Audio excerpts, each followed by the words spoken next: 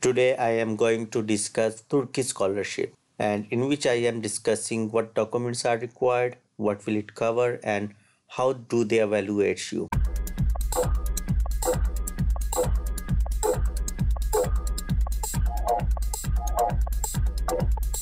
Assalamu alaikum. I am Muhammad Junaid Anjum and today I am discussing Turkey scholarship.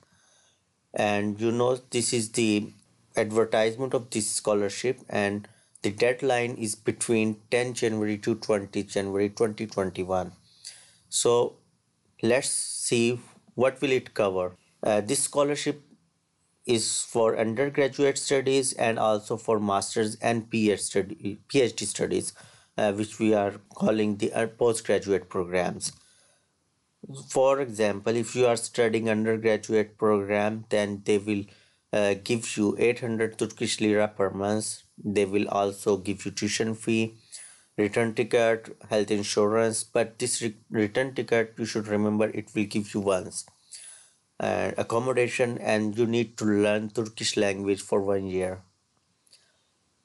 The other thing for postgraduate program this similarly they will give you the similar thing except for the stipend stipends are different for both courses. Uh, for masters they will give you 1100 turkish lira per month and for phd programs they will give you 1600 turkish lira per month. So you need to consider before coming whether your necessities are fulfilling in this scholarship or not. Otherwise they will not give you anything extra and this is the full-time scholarship and you cannot do any job so what will be the length of this uh, scholarship for masters it is one year turkish language course plus two years your uh, master course and for phd similarly one year you need to study the turkish language and other four years you need to study phd and I am not giving you any other details about short-term programs and other scholarships uh, because these are not fully funded. I am discussing today the fully funded scholarship. Let's see how to apply for this scholarship. Uh, you can apply this scholarship through this website and you need to know the instructions and warnings to fill up the application. And application are also required to submit and upload the required documents along with the uh, along with your application.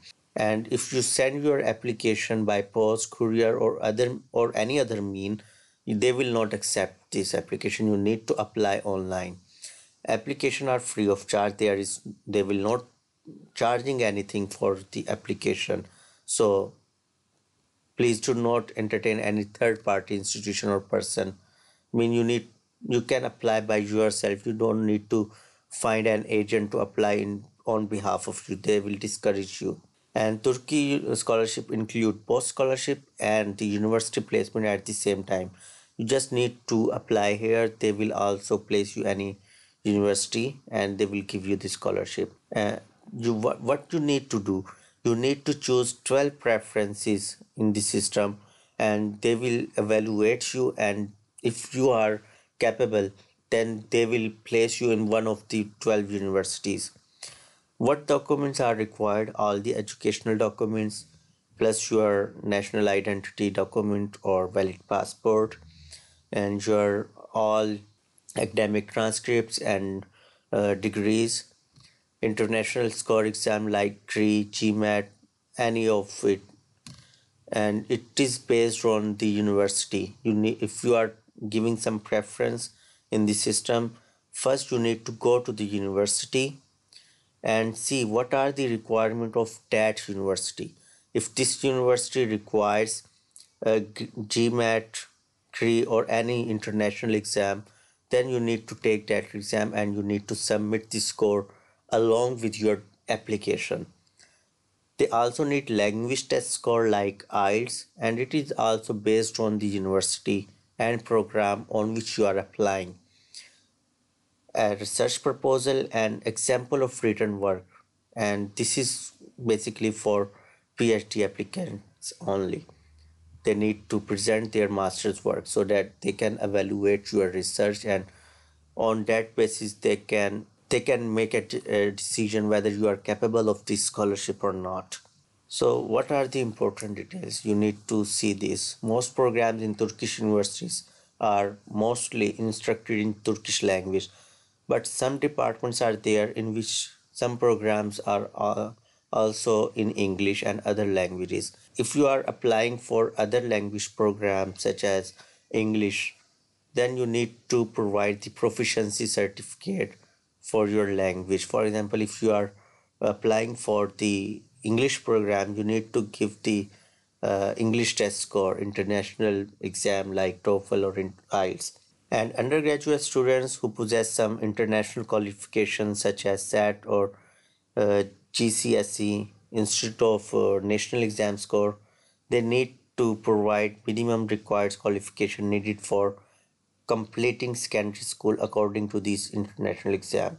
I mean, if you are not giving national exam you need to provide an equivalence uh, according to the rules and all turkish scholarship awardees who do not possess c1 level certificate for turkish proficiency must attend one year turkish preparatory course and attain the c level certificate by the end of their academic year uh, if you are not a turkish speaker you need to pass c level c1 level exam to show your Turkish proficiency for first year.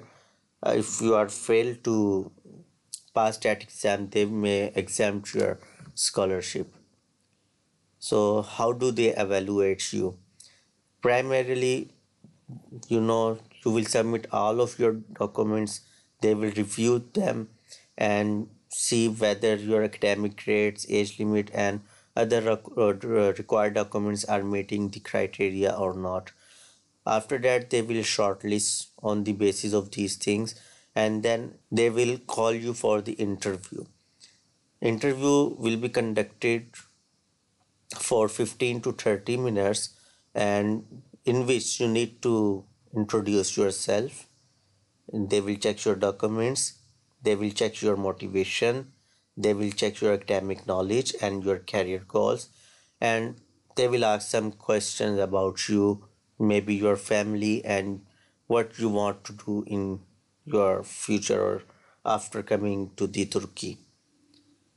So after the selection they will notify you and then you can get this scholarship. When they will send you the documents you will process your visa application and other things and then you can join the university. I hope you understand all the procedure and if you didn't subscribe our channel yet please subscribe our channel and hit the bell icon so that you can get the notification of our new videos. Thank you. Allah hafiz